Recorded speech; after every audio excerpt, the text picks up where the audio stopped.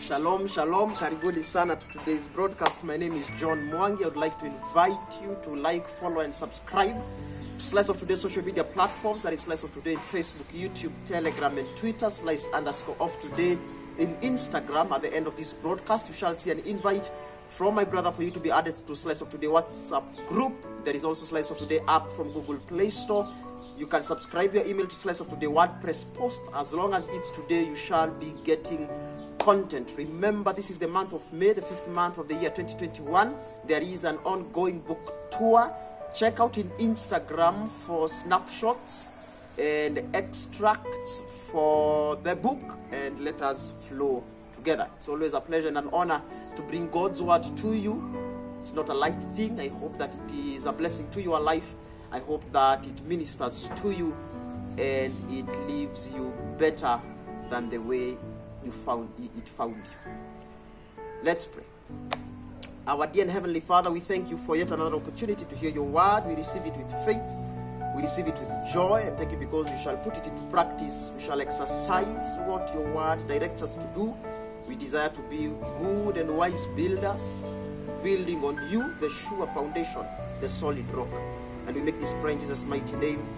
Amen, amen, and amen. So this week we began a teaching that I entitled Lessons from Jacob, the God, the father of Abraham, Isaac, and Jacob.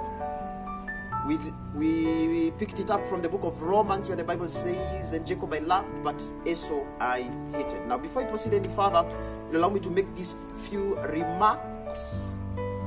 Last year, when the pandemic first hit, so this is not in the sermon, but last year when the pandemic first hit Kenya, for instance, it was in the month of March uh, when adjustments start, were starting to be made, etc., etc. The first incidents in Kenya, and a lot of things happened. And then you will agree with me that most ministries, most churches went online, most schools went online, some businesses started to embrace the online platform, etc., etc. And I remember in a particular uh, time, my first time to see a premiered video. I think it was either Dr. Walea Kinyemi or Divine Worship Ministries, but I think it was Dr. Walea Kinyemi.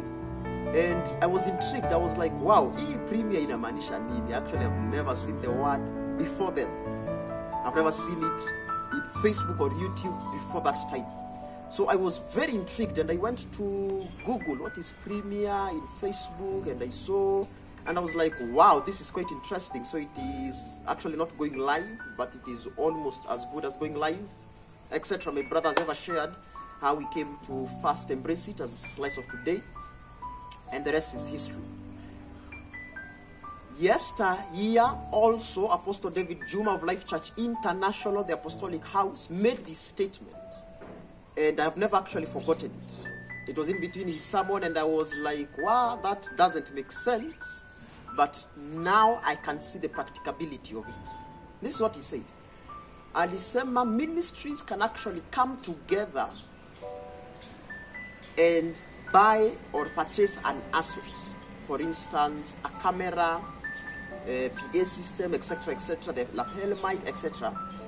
They can come together, they can come together, consolidate finances, and purchase an asset and rotate it amongst themselves. I hope you are getting it. So, for instance, three ministries can come together. Let's say they can't purchase a camera alone, so they combine their effort, they purchase one camera.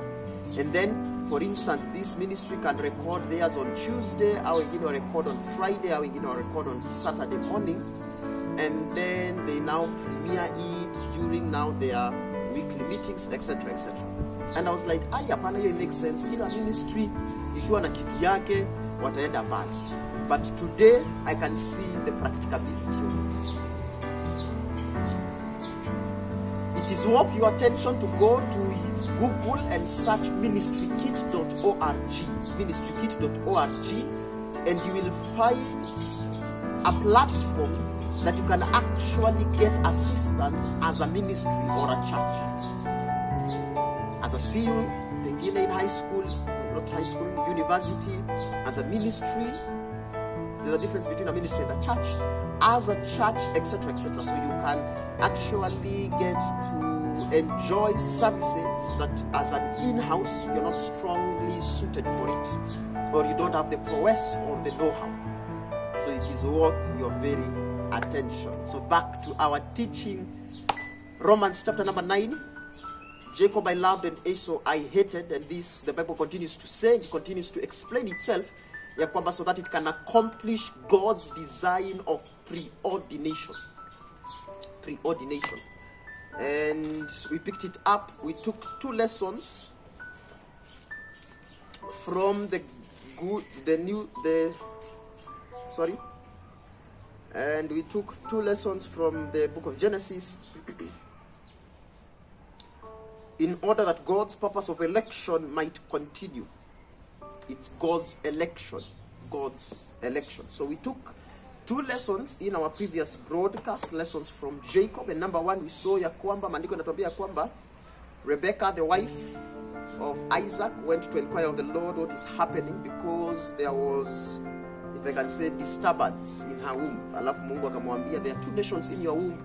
There are two people in your womb. And it so happened to be ya kwamba akizaa they were found to be twins and isaac came out uh, jacob uh, esau came out first jacob came out second with his hand holding his brother's foot. So he was a fighter so we need to signify our, our lives. It needs to be a mark in all our lives that we are fighting to attain what god has raised us to attain. And everything that we have actually as at now we can actually sustain it in the same posture Number two, anything that Jacob did, in his life, he had the very future in mind. So when his brother comes to ask for soup, alimwambia mimi ninataka your birthright. And we might actually come, we were actually looking at that question. If you can act it out, it doesn't make sense. Pengine angemwambia, pengine wewe utakupika the whole of next week. Pengine angemwambia wewe ndio utaenda pengine kwa shamba yangu nilimie the next of the next one month of something. Lakini he asked for a meal and for him to get that meal what he needed to part with was his birthright. So he had the future in mind. He was majoring on the majors and minoring on the minors. So we'll pick it up. Another lesson from genesis chapter number 28 genesis chapter number 28 from verses number 13 genesis 28 from 13 the Bible says, And behold, the Lord stood above it. So, what is this? This is Jacob's dream where he is fleeing from his brother, is going to Laban's house, and he sleeps for the night. And behold, the Lord stood above it and said, I am the Lord, the God of Abraham, your father, and the God of Isaac. The land on which you lie, I will give to you and to your offspring. Your offspring shall be like the dust of the earth, and you shall spread abroad to the west and to the east, to the north and to the south. And in you, your offspring shall all the families, and in you and your offspring shall all the families of the earth be blessed. Behold, I am with you and will keep you wherever you go, and I will bring you back to this land, for I will not leave you until I have done what I have promised you. Then Jacob awoke from his sleep and said, Surely the Lord is in this place, and I did not know it. And he was afraid and said, How awesome is this place! This is none other than the house of God, and this is the gate of heaven. I love that phrase. This is the gate of heaven. Wherever a sanctuary has been built and it has been dedicated to God, that is actually a gate to heaven. When you go to that place, you transact with the heavens. You can erect a, an altar in your house, and it is actually a gate to heaven. It is not a mere sitting room, a mere bedroom, a mere prayer closet, a mere prayer center, a mere mountain where you go to seek the house of God, but it is actually the gate of heaven. The Bible says in verses number 18 So early in the morning, Jacob took the stone that he had put under his head and set it up for a pillar and poured oil on the top of it. He called the name of that place Bethel, but the name of the city was Luz at the first. Then Jacob made a vow, saying, If God will be with me and will keep me in this way that I go, and will give me bread to eat, clothing to wear, so that I come again to my father's house in peace, then the Lord shall be my God. And this stone which I have set up for a pillar shall be God's house. And of all that you give me, I will give a full tenth to you. Abraham gave a tenth, he's pledging, pledging to give a tenth if God will see him through akirudi. Bwana Yesu asifiwe. The third thing, the third lesson we can pick from Jacob's life is this. In all his life, it is signified by him living, building altars like his fourth, his grandpa Abraham. He's a man of encounters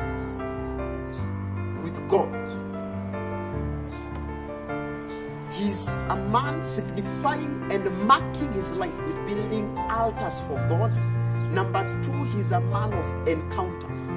Praise be to God. Not just one. You know, this is the first that is recorded ya kwamba aliona malaika wakipanda na wakishuka, alafu pale juu Yesu alikuwa amesimama hapo. That's actually where we have picked it from. Eh, and then now God is speaking to him, etc., etc. This is not his last.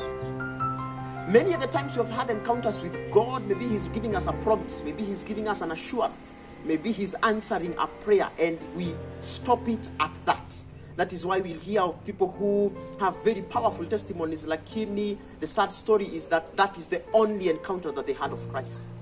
What we should be moving from, how we should be escalating our lives, is that it should be from glory to glory. Ya kwamba when we have the first encounter the first experience the first move with god we need to make it not the last. Praise be to god. And we can see it the day that he's actually going back to meet his brother he is found wrestling with an angel. Maandiko natuambia kwamba he was wrestling with a certain man. So it means this is his second and actually it's not this lakini yeah yeah yeah it is the second because the other one that he had was a dream where the bible narrates ya kwamba alioneshwa how he will uh, loot his uh, stepfather laban. Those are my ones but but but he, he actually narrates to his wife ya kwamba kuna malika ambaye alinitokea na kaniagiza how i will transact in this business for me to be successful and fruitful etc etc so this needs to be something that is imprinted in our hearts ya kwamba when we go for a certain conference and we have a mighty move of god we should make sure it is not our last. Wherever you fellowship wherever you go to bible study etc etc you have experienced god before and may it not be the last. Raise altars for god when you go to your first workplace and something works out for good using and, and you can actually see the mighty hand of god in it you need to ensure you need to make sure ya kwamba hiyo sio ya mwisho. Praise be to god. You need to ensure ya kwamba that is not the last one. And this we see in the life of jacob. We also can pick it ya kwamba it is it is in god's desire for us to make vows in our lives. You can pledge to god. Na umwambie mimi ningependa kukutumikia pamoja na familia yangu while you are yet a bachelor. So you are vowing ya kwamba the spouse that i will marry you are vowing ya kwamba the children that you will get you will raise them in the ways of god in the fear of god that they will not worship a strange god they will not serve a strange god. They will not serve a strange deity. They will not worship a strange deity. Hallelujah. Hallelujah. Genesis 35 the Bible says, And God said to Jacob, Arise, go to Bethel and dwell there. Make an altar there to the God who appeared to you when you fled from your brother Esau, we have just read. So Jacob said to his household and to all who are with him, Put away the foreign gods that are among you and purify yourselves and change your garments. And let us arise and go to Bethel so that I may make there an altar to the Lord God who answers me in the day of my distress and has been with me wherever I have gone. So they came to Jacob and all the foreign gods, and they had. So they gave to Jacob all the foreign gods that they had and the rings that were in their ears. Jacob hid them under the terebinth tree that was near Shechem. And as they journeyed, a terror from God fell upon the cities that were around them. So they did not pursue the sons of Jacob, and Jacob came to Luz, which is Bethel, which is in the land of Canaan. He and all the people who were with him, and there he built an altar and called the place El Bethel, because there God had revealed himself to him when he fled from his brother. And Deborah, Rebekah's nurse, died, and she was buried under an oak below Bethel. So he named it Alon Bakath. Amen, amen, amen. So that is another place, uh, that is another instance where he's going to actually visit the altar that he had built. Alafu kitu kingine ambacho kinafuata ni kwamba it is interesting to note ya kwamba by his act of obedience and responding to God's instruction, what resulted is that every nation that heard of him feared him. Praise be to God. People will know that you are a worshiper of the true living God and they will not dare mess with you. Why? Because a report will go ahead of you and fear will strike them. Praise be to God. Amen, amen, and amen. Jacob, while he's living with Laban, remember the Bible narrates ya he worked seven years and then he was given Leah. He worked seven years, he was given Rebecca. He worked another, so that was 14 years, so he worked another six years for for for for kuchukua mali. Yeah. So the first 14 were just for wives, but he didn't have actually any property per se. So he worked six years with a contract with Laban ya kwamba kile kila mnyama ambayo itazaa eh, speckled or spotted itakuwa yangu the pure ones the pure breeds with none of this shall be yours. And then the bible says and he looted laban. Alimpokonya mali yake such that his brothers the brother is the sons of laban walimwaccuse wakasema huyu jamaa afukuzwe. He has robbed us of our inheritance. Praise be to god Something that I would like us to pick, and actually I've done it in a previous broadcast, that's why I won't actually be reading scriptures in regards to the same, but I would like us to quote it. Ni kwamba Jacob was a hard working laborer. He labored for everything that he owned when he was walking out of the house of labor. Everything that he had, he can attest ya kwamba I put in labor in it and he was so audacious that one time he's giving an account na anasema ule mnyama wako ambaye aliibiwa i repaid it from my own.